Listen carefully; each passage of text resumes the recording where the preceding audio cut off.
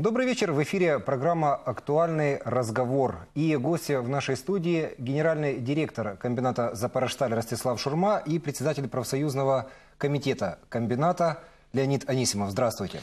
Добрый, Добрый вечер. Добрый вечер. И наш сегодняшний разговор посвящен одной из самых волнующих, наверное, тем для предприятий, как для администрации предприятий, так и для их э, работников. Потому что коллективный договор в частности, это коллективный договор на 2014 год. Это основополагающий документ, по которому строится, наверное, вся работа предприятия. И в ходе сегодняшней программы я э, предлагаю подвести итоги э, выполнения кол-договора 2013 года.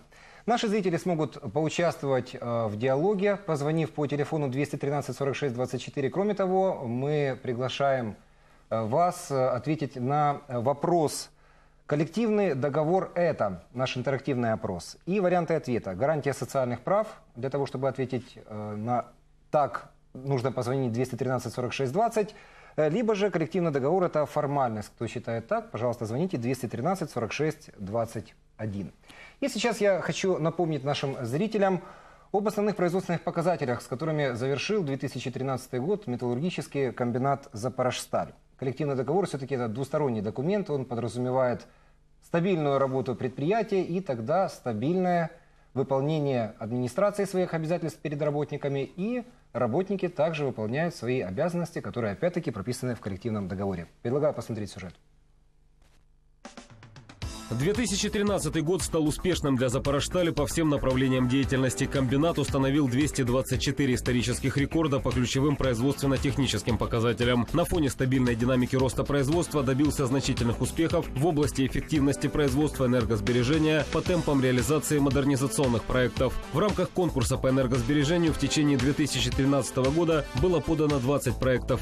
Экономический эффект от их внедрения составил порядка 80 миллионов гривен. Работники предприятия участвует в проекте «Тотальная оптимизация производства». Его задача – сокращение затрат и обучение персонала системному подходу в решении широкого спектра задач. Планируемый экономический эффект программы порядка 18 миллионов долларов в год. На комбинате «Запорожсталь» полным ходом идет техническое перевооружение, главная цель которого, кроме повышения эффективности производства, снижение влияния на окружающую среду. Так, в 2013 была запущена в эксплуатацию модернизированная агломашина номер один с высокотехнологичным газоочистным оборудованием. Инвестиции в проект составили составили порядка четверти миллиарда гривен. Кроме того, подписан контракт на поставку и установку системы газоочистки для гломашины номер два. В 2013-м комбинат «Запорожсталь» сократил потребление природного газа примерно на 100 миллионов кубических метров. В денежном эквиваленте это порядка 50 миллионов долларов. Это стало возможным за счет реализации ряда мероприятий по модернизации оборудования, использованию современных автоматизированных систем контроля за расходом энергоресурсов, внедрению новых энергосберегающих технологий. В рамках реализации программы модернизации базе предприятий группы Метинвест на комбинате «Запорожсталь» проведен комплекс ремонтов основного оборудования в доменном, прокатном и энергетическом производстве комбината. Общий размер инвестиций, направленных на весь комплекс ремонтных работ, более 60 миллионов гривен. В работе принимали участие около 1600 специалистов, большинство из них работники комбината «Запорожсталь».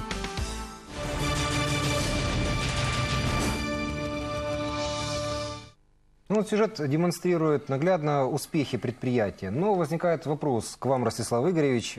Учитывая нестабильную ситуацию в Украине, насколько э, комбинат гарантирует стабильную работу? Вы в это время подписываете коллективный договор на 2014 год. А сможете ли вы выполнить те обязательства, которые на себя берете?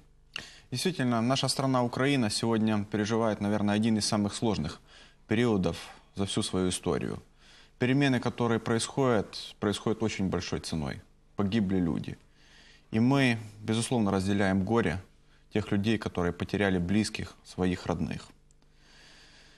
И мы понимаем, что сегодня у горожан возникает вопрос, а что дальше будет с комбинатом? Поскольку комбинат – это действительно градообразующее предприятие, на котором держится вся экономика области.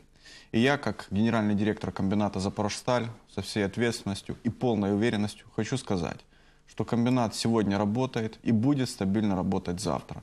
Заработная плата будет выплачиваться вовремя, все социальные гарантии и льготы будут сохранены. Та программа модернизации, которую мы начали и которую мы планируем, идет полным ходом. Количество подрядчиков только растет. Все те объекты, которые мы планировали ввести, а в частности травильное отделение, в апреле мы введем, доменную печь в апреле-мае мы введем, газоочистку в четвертом квартале на, на Агломашине мы запустим. И строительство конвертерного цеха мы тоже начнем в этом году. Я понимаю, что в такой ответственный момент, когда по большому счету система управления в городе разбалансирована в силу происходящих процессов, комбинат должен оставаться, и он остается территорией стабильности и уверенности в завтрашнем дне. Почему? Потому что на нас держится экономика региона. Если мы возьмем Запорожсталь, возьмем прочие предприятия, которые входят в нашу группу, ЗЖРК, Запорожский железорудный комбинат, Запорожский огнеупор, Запорожкокс и прочие, мы практически 30% экономики региона. И мы сегодня не имеем права подвести людей, мы должны особо эффективно и особо внимательно работать в этот период, чтобы удержать экономику на плаву. И у нас в студии есть телефонный звонок. Алло, здравствуйте. Здравствуйте, задавайте вопрос, пожалуйста. А, добрый вечер. Э, я работница комбината и, пользуясь случаем, хочу просто поблагодарить. Поблагодарить за маммограф. Нас услышали. И от чистого сердца приятно. Спасибо. Если еще будут похожие предложения, то мы будем очень рады. До свидания. Спасибо вам. Э, Спасибо. Леонид Александрович, как, кстати, вы оцениваете и ту работу, которая была проведена, и то, что сейчас сказал Ростислав Игоревич? Насколько профсоюз верит администрации предприятия? Уважаемые телезрители, вы, наверное, увидели сюжет. Действительно, сделано очень много. Я могу сказать только одно. Коллективный договор – это наша маленькая конституция. И люди, которые сегодня привыкли исполнять нормы закона как в государстве, так и коллективный договор на комбинате «Запоросталь» гарантирует то, что взятые на обязательства на себя они должны выполнить. За этим стоит трудовой коллектив. Трудовой коллектив продемонстрировал, и у нас есть первый шаг, это января месяца, где с поставленной которая перед нами стояли, комбинат справился. Мы перешли на одну, на другую форму оплаты и продемонстрировали еще то, что за этот труд они получают сегодня достойный потому что январская заработная плата, она самая высокая среди горно-металлургического комплекса комбината э, Украины, комбината Украины. Поэтому именно стимул, который сегодня есть, обеспеченность комбината, о чем говорит генеральный директор, и администрация берет свои обязанности с этой стороны. Ну и обязанность трудового коллектива, которая прописывается в коллективном договоре, тоже, как я сказал, должна быть исполнена. Поэтому я уверен, сегодня говорю, если нам не помешает как бы внешние какие-то причины, комбинат «Запоросталь» справится с коллективным договором 2014 года точно так, как справился с коллективным договором, выполняя 164 пункта в 2013 году. Я, разрешите, хотел бы, наверное, дополнить. Вот в вашем вопросе был один момент, а вот выполним ли мы, учитывая всю да. ситуацию. Я хочу сказать, что у нас подход такой. Мы никогда не обещаем того, в чем мы не уверены. Раз мы подписываем, раз мы обещаем трудовому коллективу, значит, мы это наверняка выполним. Это наш базовый принцип в работе. И к нам дозвонился телезритель. Э, здравствуйте, вы в эфире. Алло, здравствуйте. Алло. Да-да, мы вас слушаем. Я ветеран комбината «Запорожсталь». Прежде всего хочу сказать большое спасибо руководству комбината и профсоюзации за поддержку наших ветеранов. И у меня есть пожелание, чтобы руководство комбината и профсоюз нас не забывали, устраивали с, наши, с нами встречи. Вот такая у меня просьба. Спасибо. Спасибо. Вот, Спасибо за хорошие слова. Да, вы, да, да. Вы знаете, вот мне, честно говоря, очень приятно слышать, потому что э, регулярно встречаясь с ветеранами, я, откровенно говоря, получаю большое удовольствие и большой такой задел энергии, заряжаясь от, от наших ветеранов, от наших людей, потому что такой веры, такого патриотизма, такого переживания за комбинат – тяжело как бы у кого-то найти. И я рад, что ветераны тоже любят встречаться с нами. Я могу добавить здесь еще одно. Мы приняли решение, поменял страховую компанию. Это много было обращений к руководству комбината, профсоюзной организации, что выиграли от этого труженики комбината, что выиграли от этого, в данном случае, ветераны. Они достойно на сегодняшний день прибавили к обеспечению, когда вдруг произойдет травма или болезнь ветераны наши получили дополнительно практически в два раза больше. Если покрытие у них было в пределах 700 гривен, на сегодняшний день полторы тысячи. У людей было покрытие в течение, будем говорить, болезни где-то полторы тысячи, на сегодняшний день две тысячи. То есть вот эти два, два действия показывают, что мы принимая проект коллективного договора на 2014 год, не только оставляем его как основу лучшего из договоров 2013 года, а мы еще попытаемся его улучшить и в данном случае ближе приблизить к людям.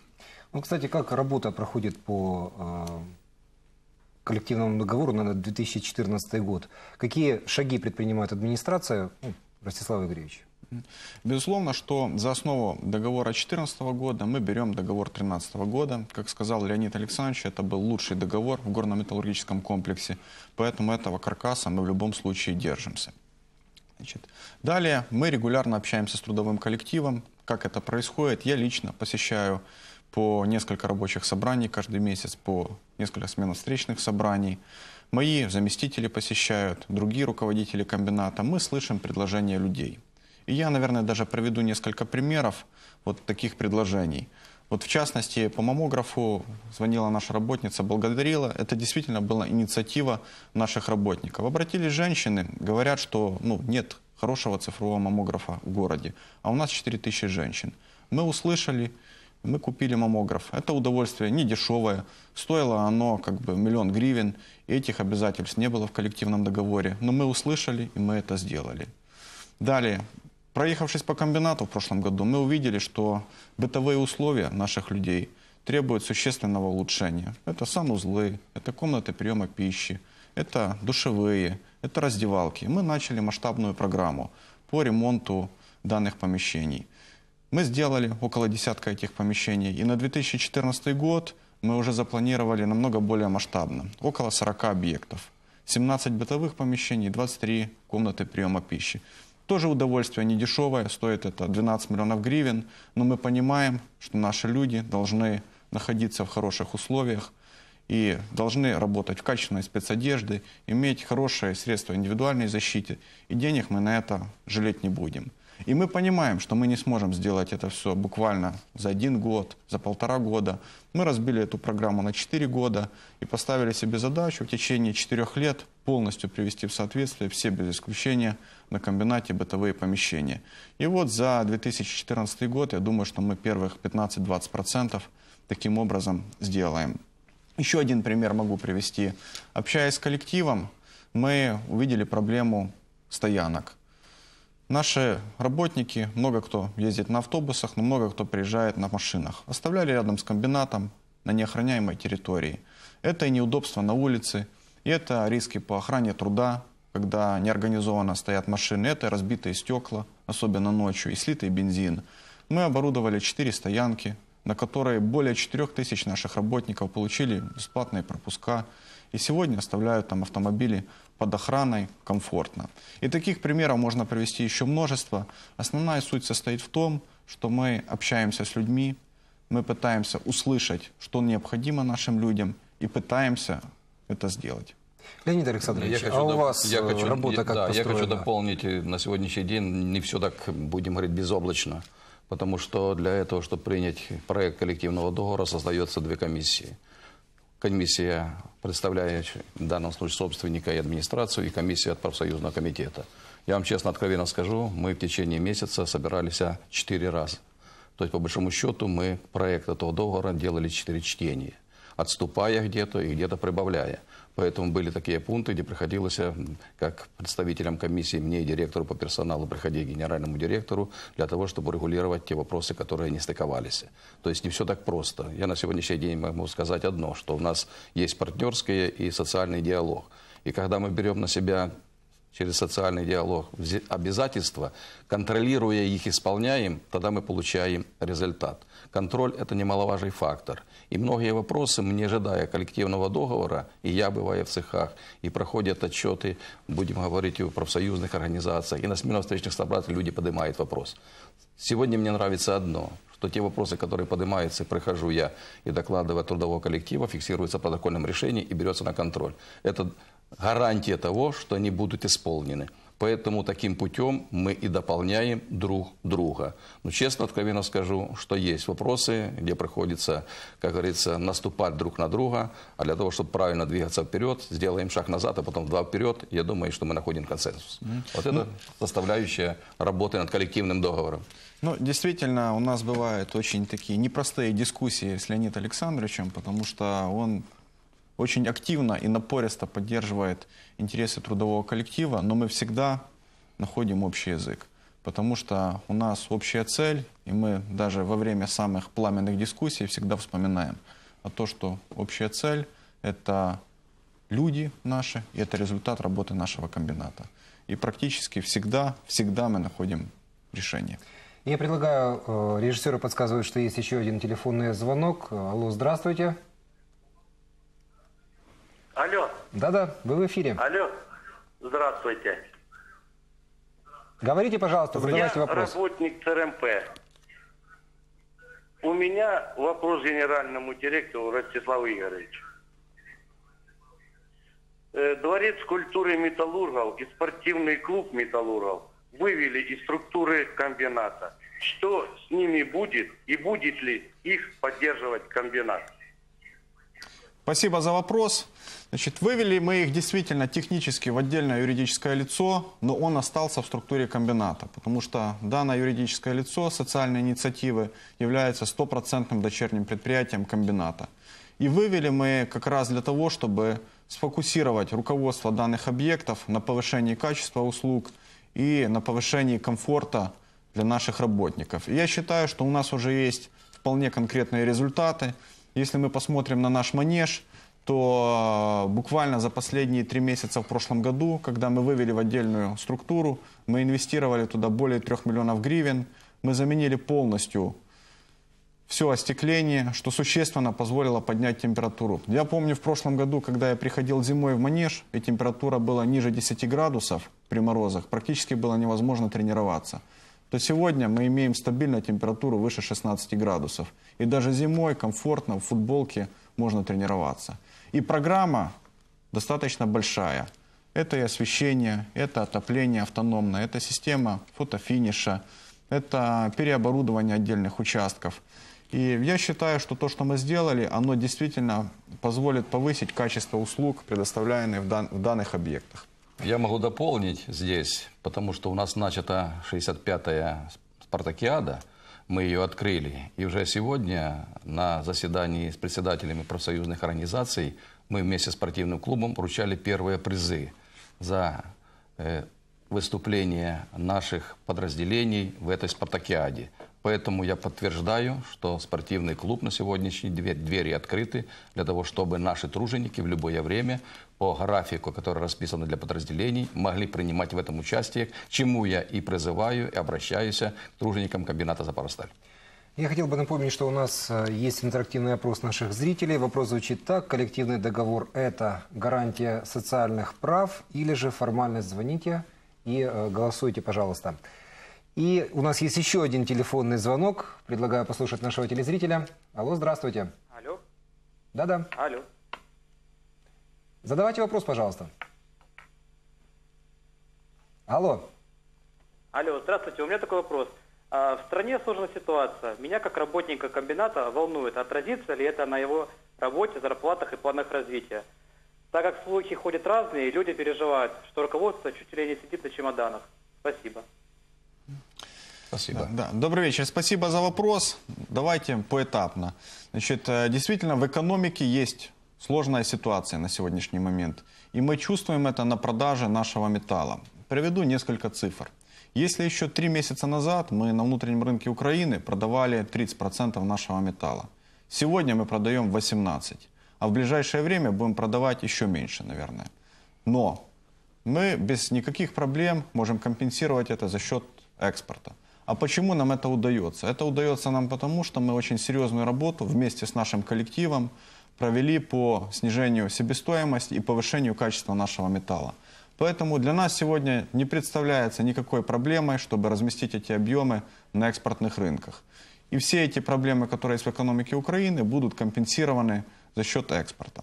Что касается за заработную плату, то это абсолютная догма. Заработная плата будет выплачиваться своевременно и в полном объеме. Что касается планов развития комбината, я, наверное, повторюсь, что ни один проект, не то, что не отменяется, ни на одни сутки не переносится срок реализации этого проекта. Мы будем двигаться по той программе, которую мы наметили. Ну а что касается руководства на чемоданах, ну я не знаю, кто там чемоданы собирает. Но я планирую в ближайшие пять лет построить конвертерный цех. Все-таки к теме зарплаты. В 2014 году э, начала работать система грейдов, так называемых, э, на комбинате. То есть зарплата выплачивается по грейдам. Что это такое? Да, я думаю, всем нашим телезрителям это неизвестно. И не стала ли вот эта вот зарплата по грейдам камнем преткновения между профсоюзом и администрацией, Ростислав Игоревич? Да, действительно, с 1 января 2014 года мы перешли на абсолютно новую систему оплаты труда, которая называется грейдинг. Безусловно, что любые изменения, особенно те изменения, которые касаются оплаты труда, они всегда вызывают большие опасения у кого бы это ни было, и, безусловно, у наших рабочих. Но я вам скажу так, что эта система, она опробована во всем мире, она внедрена практически на всех металлургических комбинатах Украины России и внедрена успешно. В чем смысл этой заработной платы? Та данная система оплаты труда. Значит, та система, которая действовала на комбинате, это была ну, еще советская система. У нее было очень много плюсов, но и были недостатки, которые все-таки проявляются со временем. Поэтому смысл был в том, чтобы все-таки оставить то лучшее, что было, и привнести современные западные элементы. И безусловно, что система строится на том, чтобы справедливо и честно оценить труд по каждой профессии и определить справедливое вознаграждение. Безусловно, что в процессе у нас было много дискуссий с профсоюзным комитетом. Безусловно, что оценку каждой должности мы проводили совместной комиссией с представителями и цехов, и в том числе с представителями профсоюзного комитета. И мне кажется, у нас достаточно неплохо получилось в результате. Какой результат? По итогам января, в результате внедрения данной системы, мы видим, что заработная плата выросла от 3 до 15% в среднем на 5,6% по комбинату. В итоге мы достигли средней заработной платы, средней, подчеркиваю, по комбинату свыше 6700 гривен. Это однозначно самая высокая заработная плата в горно-металлургическом комплексе. Наверное, одна из самых высоких заработных плат в целом в промышленности Украины. И, безусловно, это самая высокая заработная плата в городе Запорожье. Ну как все-таки профсоюз отнесся к тому, что ввелась новая система? Не было ли трений Ну, в данном случае я подтверждаю то, что было сказано. Я являлся членом комиссии, которая рассматривала и внедряла данную систему. Поэтому действительно было много споров при оценке, в данном случае, должности, а не человека. И факт, который сегодня приводился, он был, имел место. 6700, много или это мало? Но если взять, будем говорить на сегодняшний день, называть эту цифру, обычно говорят, да не, они же говорят по, по больнице, а что в данном случае по переделу и по профессиям. Поэтому я могу сказать тем, кто работал на металлургическом комбинате на сегодняшний день по профессиям, начиная от агломератчиков, заканчивая прокатчиками, от 500 до 2000 гривен по месяцу прибавилась заработная плата у работников данных подразделений. Это здорово наша средняя заработная плата к январю 2013 года увеличилась на 16%. Я думаю, что такие темпы надо держать. Это будет непросто. Я думаю, мы сегодняшний днем сказать а, просто, что отлично или нет, я бы не сказал, потому что надо посмотреть еще февраль и март месяц, и квартал нам покажет. А покажет самое главное, какую нам сделать корректировку. Именно на сегодняшний день есть горячие линии, где человек в любое время может позвонить. Каждый человек, когда ему присваивался грейд, расписывался, ставил свой автограф. И сегодня всегда мы готовы дать ему ответ. Особенно службы, которые занимаются этим вопросом. Профсоюзный комитет все время интересуется. И каждый вопрос, который поднимается, ставит перед генеральным директором. Потому что это общая задача.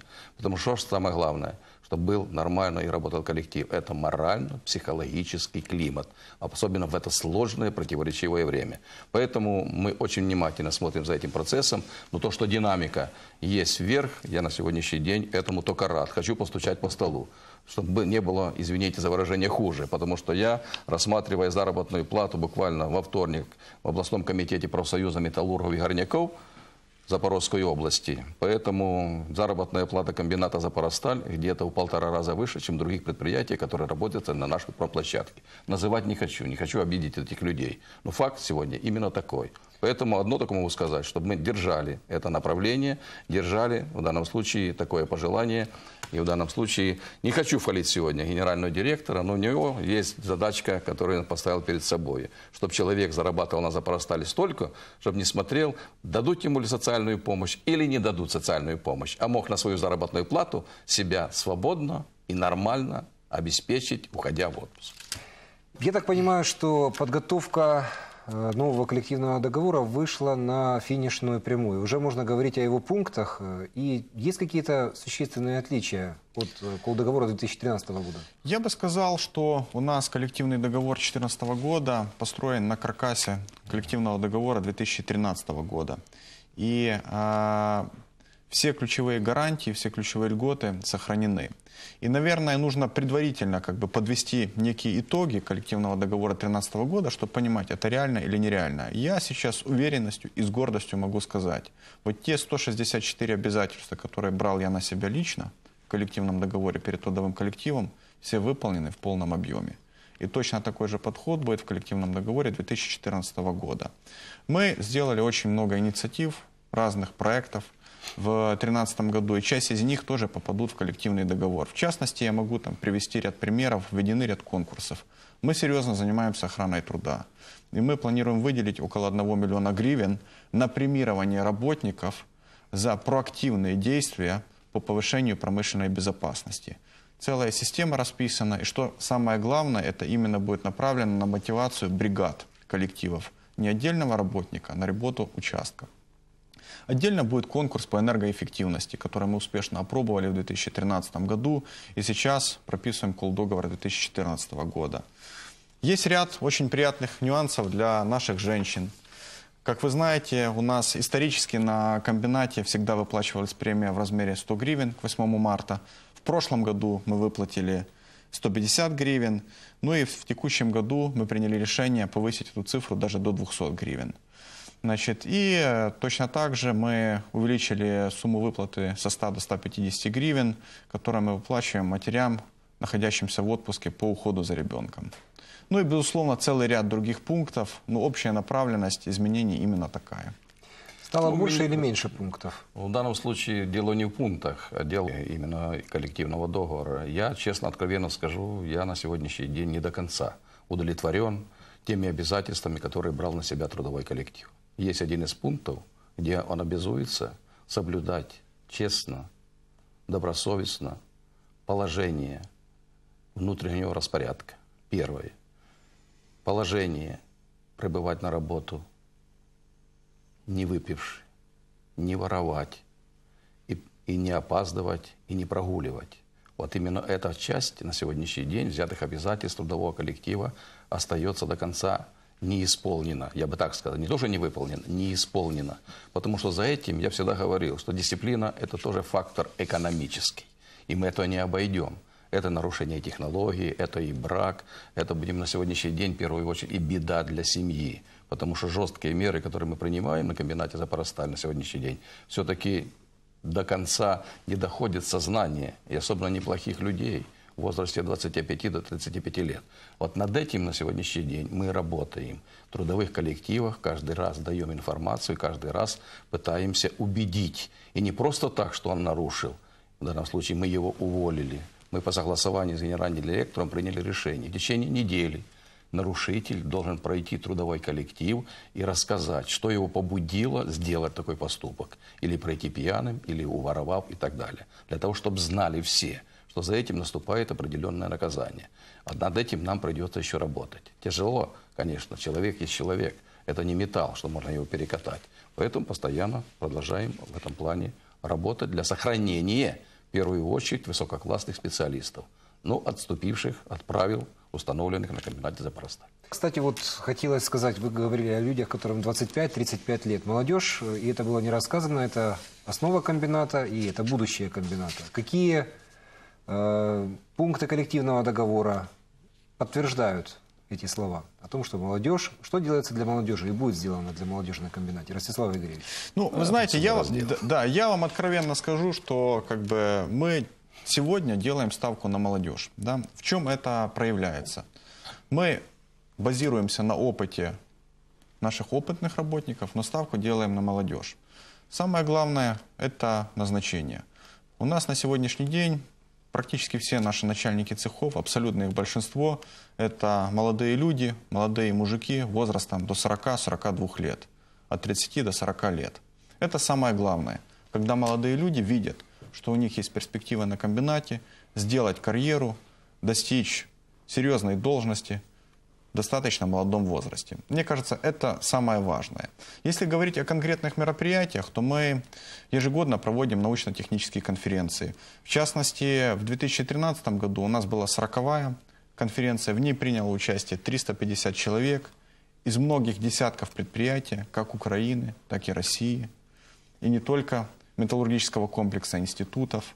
Мы ежегодно проводим конкурсы, такие как КВН, такие как «Что, где, когда», такие как «Мисс Запорожсталь», которые тоже позволяют молодежи поучаствовать и немножко поднять настроение. Это и есть наша работа в направлении развития молодежи. И у нас есть в студии звонок. Алло, здравствуйте. Здравствуйте, вы в эфире. Алло.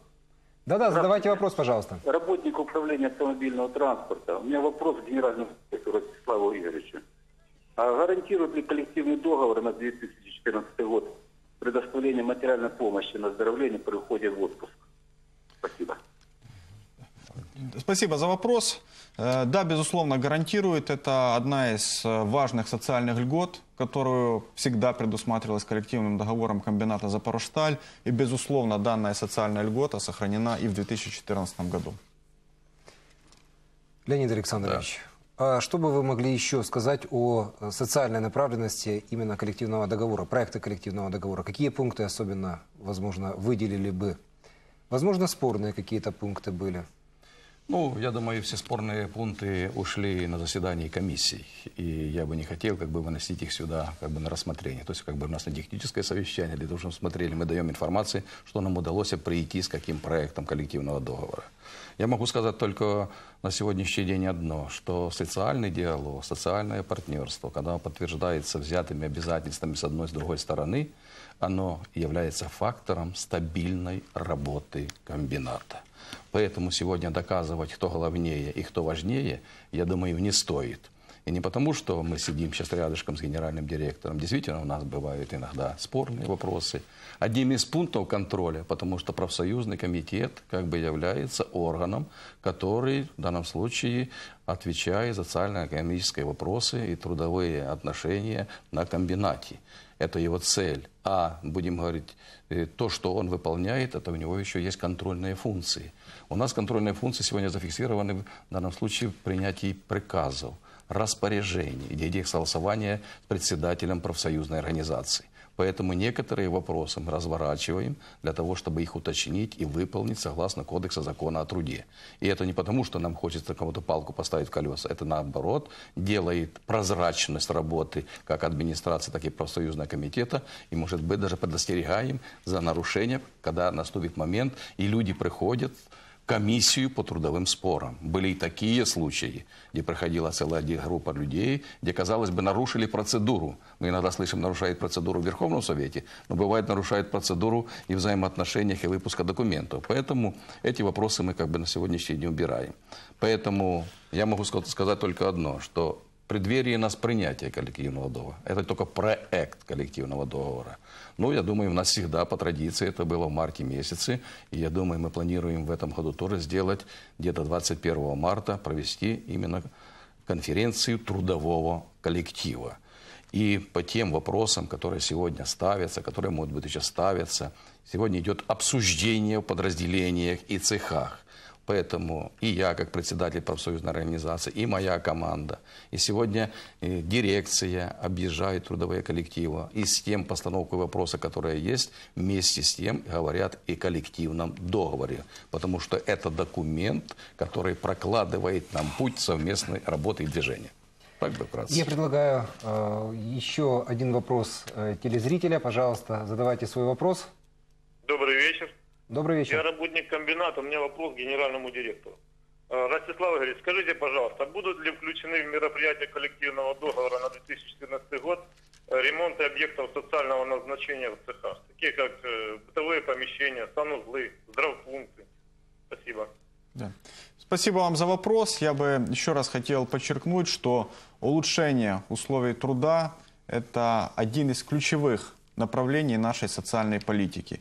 И на сегодняшний день есть утверждена уже программа, по которой мы двигаемся, не дожидаясь даже подписания коллективного договора. Эта программа состоит из 40 пунктов, из 40 помещений, 23 помещения по приему пищи, комнаты приема пищи, и 17, повыш... 17 повышений, помещений бытовых. Это санузлы, это душевые, это бани.